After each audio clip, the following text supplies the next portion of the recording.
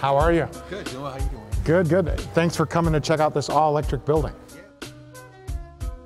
So, thank you for coming out today to check this out. Uh, I do want to introduce you to the builder of this house. Hey, nice call. So how did how did you get started on all this and like yeah, what was the motivation? About eight or nine years ago, we were building LEED certified homes and we were building super energy efficient homes, but with gas lines. I read a book about climate change, realized we have to stop burning fossil fuels as soon as possible. Why are we building these green homes with gas? And we tried to, we built a home with solar panels and all electric, and it went great. And here we go. I think that's the question, right? So if you're if you're looking at your existing home and trying to identify all those things, where do you even start? There's a, a group called BPI that is a nonprofit that certifies energy raters and these folks come into your house, they'll do a blower door test in your house, they'll identify air leaks, they'll identify areas with poor insulation, and that'll help create a roadmap for you to decarbonize that house. When I say decarbonize is that's what we're trying to do is we're, we're trying to lower the amount of energy that building needs through insulation and air sealing. And then we're also trying to move our systems away from fossil fuel systems to electric systems. What are, what are other examples of things that are different uh, as relates to how you're bringing heat in? Because you talked to insulation. Right. So furnaces have all kinds of sensors in them to help shut them down in the event that there's carbon monoxide being produced. They uh, have igniters. Heat pumps don't have that complexity. We take heat from the outside air. That fan draws the heat over a coil. We extract heat even from cold air. This system can extract heat from air temperatures down to negative 17 degrees, and we move that heat into the building. During that polar vortex uh, that we had a couple weeks ago when it was negative 15, my house was very comfortable.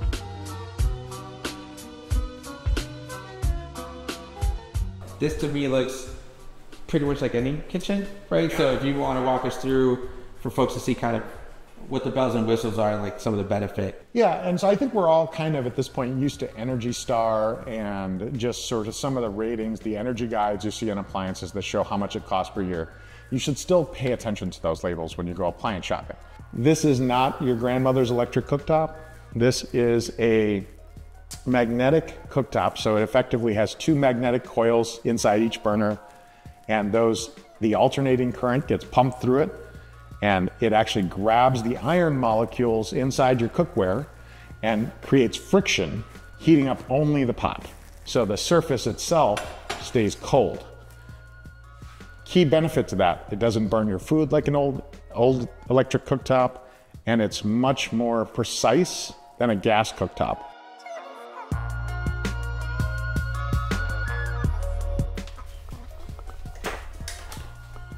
Your average question anyone's going to ask is, uh, you know, is it effective? What's the difference from your regular water heater? Yeah. So this is actually the easiest thing a homeowner could do, right? Because you, everybody has a water heater. Uh, this unit doesn't use gas; it uses electricity. Uh, and there's a heat pump on the top here that takes heat from inside this room and moves it into the water tank. So it uses about half the power of a tankless electric water heater and cost about half as much to run as a uh, tanked gas water heater. So it's a very efficient way to make hot water at home using electricity.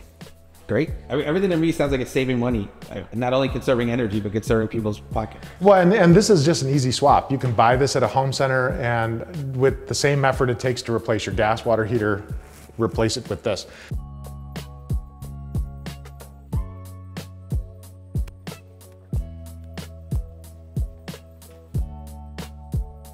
Uh, we traditionally dry our clothes with gas. Uh, some folks have an electric clothes dryer.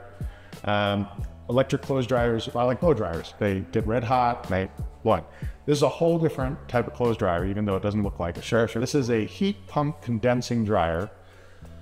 So what does that mean? It takes heat from inside the room, in moves it into the drum, and once it's in the drum, it largely stays there. So it doesn't have to continuously run, right? Because we don't vent to the outside. All we're doing here is dehumidifying your clothes. So we're using heat to release the moisture in your clothes.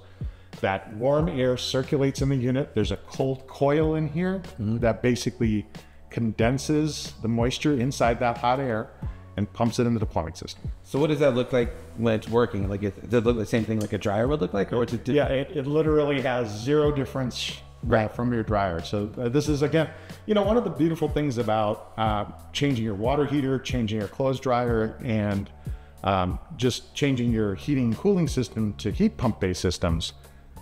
There's no emotional effect on your life, right? You know, Everything's the same. How does that? Just be right. conserving more. that's right. There's no there's no change in what you have to do.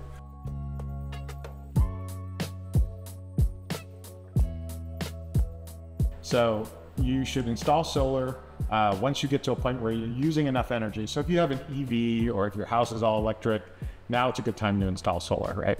And this here is an inverter. So what we're doing is we're taking power from the roof. That power is coming down in DC form. There's a transformer in here that converts it to AC. From here, it goes to the panel. And then if I look at our panel, there's a little so- solar photovoltaic breaker right here. And that power is flowing into the panel. If it's not used by the panel, then it goes back to the grid through the meter and effectively spins the meter backwards. Got it. How, how much did you say a month again? One seven, 17. Got it. It's good. It's good to know that because I don't know anyone else seeing that kind of. Well, and if you don't have a gas bill and you have a $17 a month power bill, I, I think that's a little bit of an economic advantage for a house like this. Yeah, I mean, it's more than reason. It's more than enough reason to not only look for a house like this or find ways to retrofit just because the cost savings alone make right. it worth it. That's right.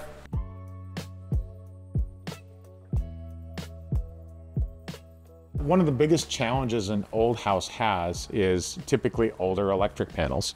Um, so one of the things in the Inflation Reduction Act is when you do uh, upgrade to electrical appliances, they cover some of the work that's going to take to allow your house to operate that appliance. So it's a good time to upgrade your electrical service. This is a 200 amp panel. Uh, 200 amps means we have a lot more power to power different systems in the house versus a typical house, which is going to have a 100 amp panel. Do the utility companies have a part to fleet? Yep. So ComEd offers rebates on a lot of this equipment as well for their insulators, so you can just reach out to them direct. I wish that there was more articulation of the wonderful future that we could all have with super low energy cost. If you really imagine what you could do in our world with really cheap energy all across the planet, it would be, you know, amazingly better for everybody.